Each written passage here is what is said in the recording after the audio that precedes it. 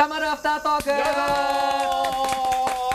さあということで今回は下娘から姫ちゃんとさなちが、えーリポーターやってくれましたけどね、やってみて本番いかがでした？どうだった？すっごく緊張したんですけど、うん。やっぱりこの場の雰囲気が良くてうん。楽しくできました、あら。いやもう本当本番前すごいガタガタしだしちゃって。いや私もあでもそんでもなの全然見ね。めちゃくちゃえなかったよね楽しかったです。さなちゃんはじゃあ下娘になってからこういうメディアのお仕事は初めてなの？はいそうです。あそうなんだ。それは緊張するねじゃあ。そうなんです。今回のオーディションでなったんだよね太田メディに。はいそうです。この太田メディ下娘に入ろうと思ったきっかけっていうのはうん。何なの、えっともともと将来の夢が声優さんでなるほど。学校の駅でたまたまポスター見つけて、うん。あ夢に一歩近づけるんじゃないかなと思って受けて合格しました。なるほど。じゃあもともと下娘の先輩たちのことは知ってたんだ。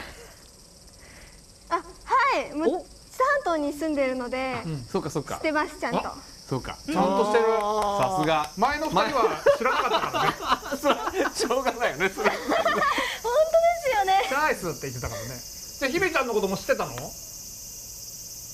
姫香さん知ってましたよもちろん。あそうなんだ。おーやったーって感じ。そうかそうか。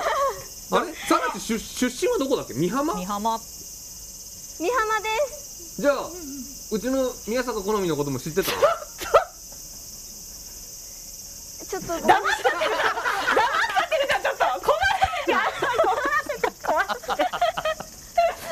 宮坂好みと申します。同じね同じ南知多出身ですからね。美浜美浜。美浜。あそうか美浜町か。隣だからね。美浜の隣町ですね。ねそりゃそうだ南知多だったら絶大な権力を持ってるそのに。りゃそうだね。持ってない。な一歩一歩出たらねやっぱそれは。まあでもこれもねはい。何からいいんですからまたはい。何かあったら力貸してくださいおよろ二人しくお願いします。はい。はいよろしくお願いよろしくお願いします。ありがとうございましたありがとじゃあ最後に最後に反復横跳びしながらラップ見せて。うございましたいきますよ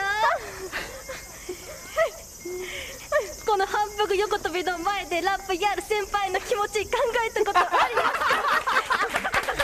ありがとう。ありがとうございました。さようなら